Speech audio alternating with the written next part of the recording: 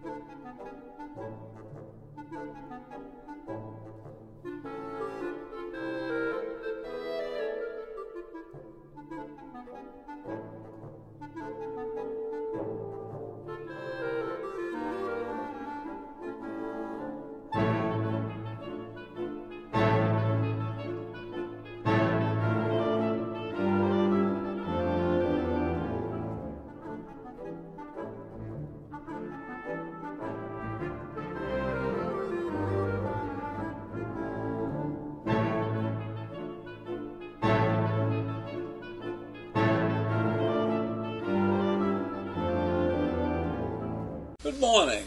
It's Wednesday, July 12th. I don't know if you remember this incident that happened back in 2020. The New York Police Department announced the deployment of one creature called DigiDog. It was a nickname for a small quadrupedal robot made by Boston Dynamics. The backlash was swift and severe. Critics cited privacy concerns, safety risks, and costs.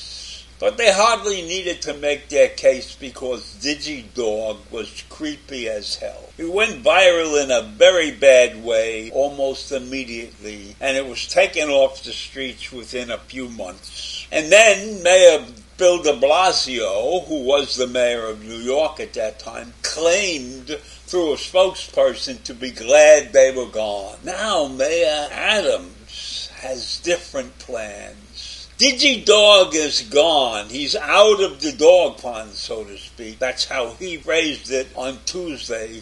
And now DigiDog has a friend. Yes, that's right. DigiDog has a friend. Mayor Adams had a press conference in Times Square who was joined by the NYPD leadership announced the acquisition of two DigiDogs, Boston Dynamics Spot robots to be specific, and they cost seven hundred fifty thousand dollars according to the NYPD. But the cost of the DigiDogs was covered by forfeiture money. I don't know what that really means, but apparently it means that the taxpayers weren't paying for these two dogs yet.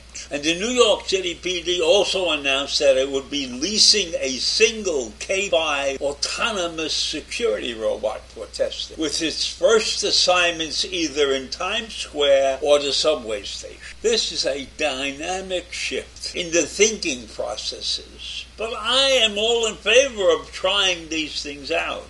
So for a decade now, Boston Dynamics has been releasing unsettling demo videos of its two and four legged creatures, robots, not creatures, robots. So Boston Dynamics, which is now owned by Hyundai, pledged last year not to weaponize its robots. These robots have been used elsewhere by bomb squads. And the New York Police Department says they could be used for surveillance or in hostage situations, which would be a good thing because it would keep policemen out of the dangerous business of rescuing people or doing whatever needs to be done in a hostage situation. So one of the heads of the police department said, think about this robot as if it's a Roomba. A Roomba is a vacuum robot. I happen to own one of those things. And they water around the carpet and they suck up everything.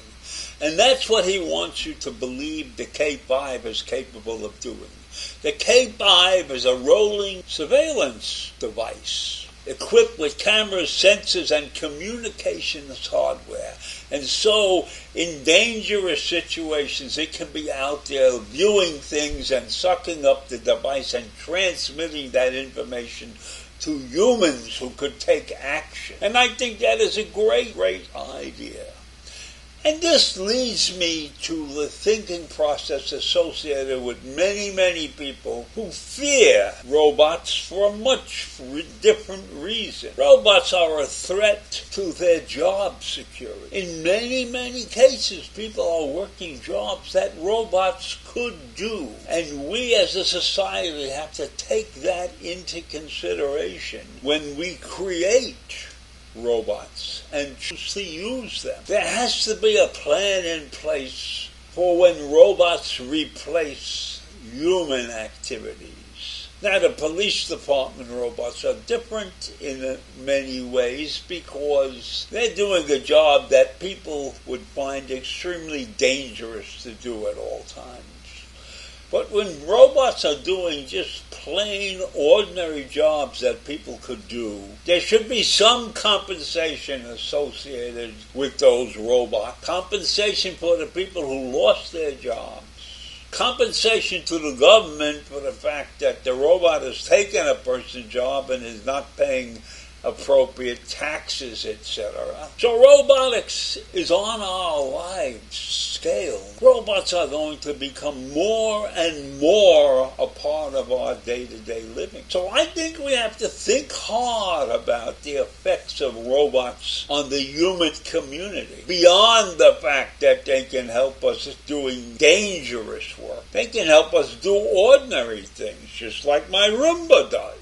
So if we look at the big picture and envision that in 10 or 20 years, many, many jobs that people are doing now will have disappeared from the workplace so I believe that there are adjustments that need to be made for the totality of our citizens. So how about thinking of a national 35 or 32 hour work week for humans? And how about thinking about a tax on the robots that do the work? How about each robot has to pay taxes like a human would take? So if you replace 20 employees with several robots, then those robots should be costing that company in taxes to the government whatever they would have had to pay on behalf of the humans doing that work. And what about certain other things that go with having robots? Like depreciation allowance. You buy a robot and you depreciate it over time, and he saves you more money. All of those things should be taken into consideration if we are going to have a robotic society. But on the other hand, think about this also. If robots are taking work away from humans, then what are humans going to do with their spare time? Not everybody is equipped to adjust to having more spare time. There are many in our society who fail badly when they retire and are left with days with nothing to do and try to figure out what they should do with their time, with their spare time. And I speak from experience because when I retired 15 years ago, I had to find a place where I could do things that would keep me busy and not sit around the house. And I found that. I found a great organization to attend the Suffolk Y JCC.